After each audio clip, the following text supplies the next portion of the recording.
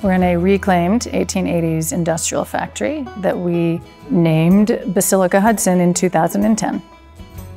You know, it is named Basilica, which is the Italian word for church. Your spirit lifts walking into a space that has such high verticality.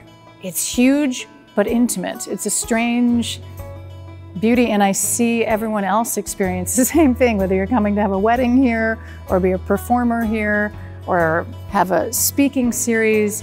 People walk in and there's an immediate respect for the space. As much as we've busted our butts here for 13 years, I still feel that love and admiration for it when I walk in.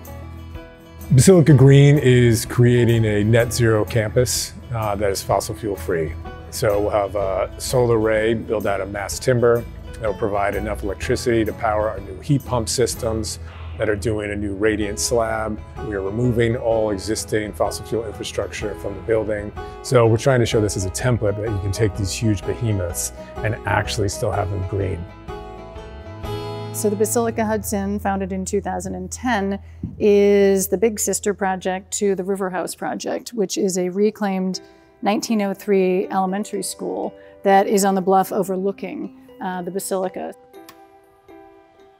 So welcome to the River House Project, reclaimed and dubbed to be a film media design hub. The building was in horrendous shape. It had sat abandoned for decades. So again, when we walked in, I saw the glory of, oh my God, imagine the filmmakers and the designers. We could all be sitting here having meetings and creating amazing work that goes out into the universe.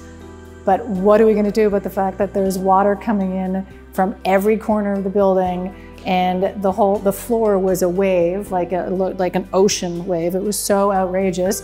And we just started in the basement and jacked our way up per floor. And once we got to the attic, we needed to jack that up about seven inches. But because the center had fallen in and pushed the wall out, so we had put brought the wall in four inches. So there's about 200 jacks in this building at one point. Um, and then once we got that stabilized, we worked our way down. And this building was really almost at the point of no return. So there was a ticking clock that if you know another decade that it sat, it would, it would, it would not be able to be repaired. So we just kind of got at the last possible moment to bring it back to its, to its glory.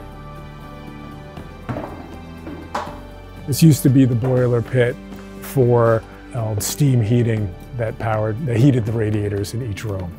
So by taking the mechanicals and using heat pumps, we are able to put those outside, gain this space back, and now turn it into the state-of-the-art movie theater that people can either screen movies or color correct. Historic buildings are an inspiring place to be for creatives because of the innate beauty, but also I think of the creativity of reclaiming it. And it's part of a creative process of reviewing what was this before, how do you reinvent it? It's about invention and reinvention.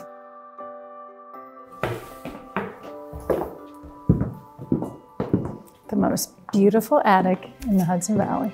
We only have one life, each of us, and all of these buildings and all of these places have had many, many, many thousands of lives. And it gives a sense, like a reason of existence of finding your tiny speck of place and time in the big picture of the planet Earth, of the universe, or of Hudson, New York. and I think it's really important that if we are thinking of these old buildings in terms of century longevity, that we do think of climate change and we do think of the long-term effects on climate change, on infrastructure, on rising seas that will destroy a lot of these buildings. Um, and so it's really important that we start to save these buildings, we start thinking forward of how to reduce our fossil fuel reliance immediately and figure out how to draw it down.